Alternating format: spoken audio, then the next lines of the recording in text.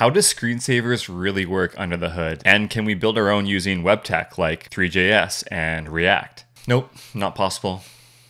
Come on, anything's possible, especially if you go far enough down that rabbit hole.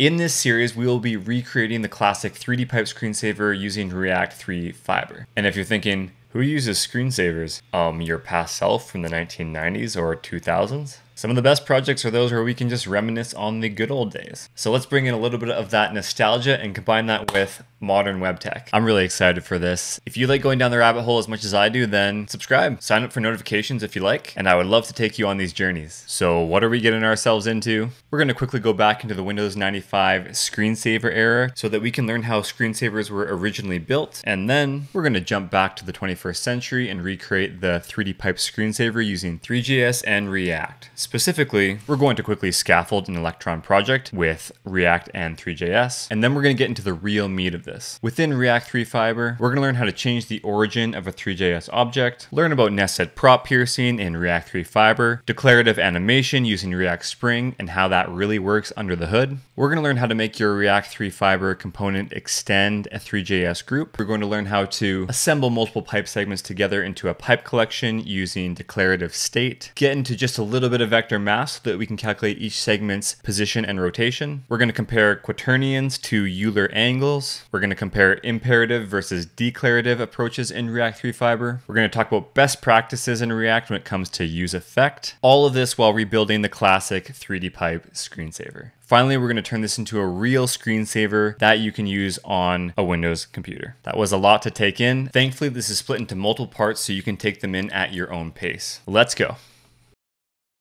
When most people think of the classic screensavers, we're thinking about the Windows screensavers. So this series will be focusing on how to build a screensaver for Windows. If you're interested on how to build this for Mac, let me know and we can look into doing that for another video. So how would you build a screensaver back in the day? If you go back to your Windows 95, Windows 2000, Windows XP days, you probably remember going into your screensaver settings and getting the list of screensavers that you can choose from. And it turns out we could actually make our own and add it to this list. So to understand a little bit better how screensavers work, we're going to go back in time a little bit to around the 1995 era when these screensavers were first built. So first fun fact about these classic screensavers, they were actually built using OpenGL and not DirectX. A lot of people think of DirectX as Microsoft's 3D graphics technology, but the original version of Windows 95 didn't ship with the DirectX. Also, the Direct3D API required hardware acceleration, which back in that day, pretty much no computer had. So when they were building these classic screensavers, they were using OpenGL and they were rendering them using software on the CPU, not a GPU. Another fun fact is some of these 3D screensavers, including the 3D pipe screensaver, was actually first introduced in Windows NT 3.5, which is a year before Windows 95 came out. Theoretically, after these were built in OpenGL, they could have been rewritten in DirectX, but that never happened. So because these screensavers were rendering on the CPU, there's actually some funny stories of some IT server admins back in the day who were affected by this. There's this one company in the 90s who running Windows NT 4 as a server. The story is that they had this really nice nice server for the day, a whopping 512 megs of RAM, fast SCSI disks, dual 200 megahertz Pentium Pros. So these guys are thinking, yeah, we got this beefy server, we're pretty much good to go. But the IT admin got a call from the manager saying that they got reports from their customers that the website was painfully slow. So they're thinking, what the heck? We have this really nice server, what could be causing that? And so the guy went to the server, sees the screensaver running there, wiggles his mouse, and then kind of pokes around and just sees, okay, what you know, what could this be? Didn't really find anything, and he was testing the website himself. Everything was performing great. So he's thinking, this must just be like an isolated incident. I guess everything's fine. And then the next day, the manager calls him up and says, hey, we still have this problem where the customers are complaining that the website is really slow. Did you not solve that problem? So now the IT admin's like, okay, what the heck? Like, this doesn't make sense. Uh, everything was working. I thought that was an isolated incident. So he goes back. Of course, the screensaver is back up. He wiggles his mouse. And then in that moment, he's like, wait a minute. Is there any chance that this screensaver itself, which is running these 3D graphics, is actually slowing the server down? And turns out the answer was yes. Since it was an OpenGL screensaver running on the CPU, every time the screensaver kicked in, it would completely bog down the CPU just so that in the odd chance someone was in the server room, they could see a nice looking screensaver and their CRT monitor would not be burned in. This is what we had to deal with back in the day.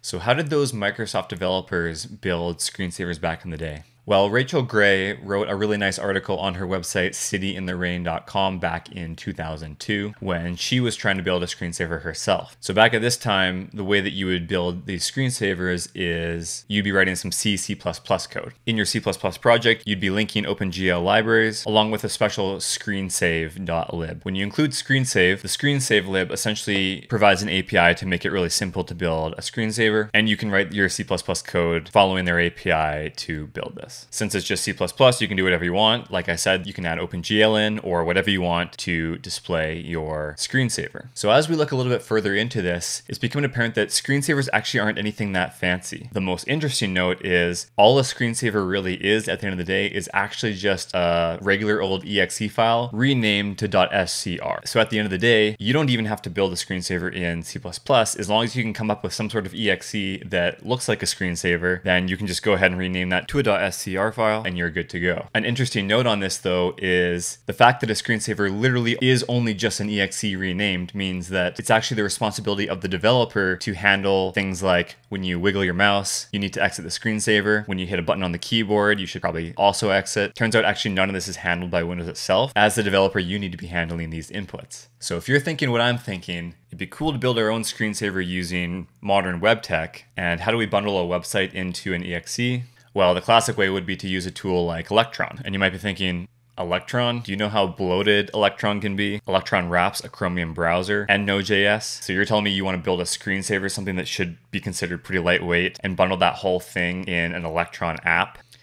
Yep, hey, well, we need to start somewhere. And sometimes using familiar technology like Electron and technology that has a large community around it can help us prove the concept a lot faster. After this, nothing stops us from shifting over to a different technology that can maybe be a little bit more efficient. I think proof of concepts are very underrated these days. I'm definitely guilty of trying to come up with the most perfect solution from the get go. And then I end up wasting days and maybe even weeks fighting through all this technology trying to make it perfect from the start when I could have just built a proof of concept in that time, learned a lot along the way, and then iterated on my solution. So at the end of the day, we're going to be building our screensaver using WebGL instead of OpenGL. WebGL, of course, runs in your browser, in our case, Chromium with an Electron, whereas OpenGL would run on your desktop. WebGL is actually based on the OpenGL ES 2.0 spec. ES stands for embedded systems. Your smartphone, for example, would run OpenGL ES. So WebGL is essentially almost the same as OpenGL ES 2.0. All right, so we've completely exhausted the foundational knowledge we need to build this screensaver. In the next video of the series, we're actually gonna get started scaffolding this application. We're gonna get our Electron project set up, and we're gonna begin to get a 3D pipe introduced into the scene. At that point, we can jump into those declarative animations and talk about a bunch of those useful React Three Fiber concepts. Thanks so much for joining me today, and I'll catch you down the next rabbit hole.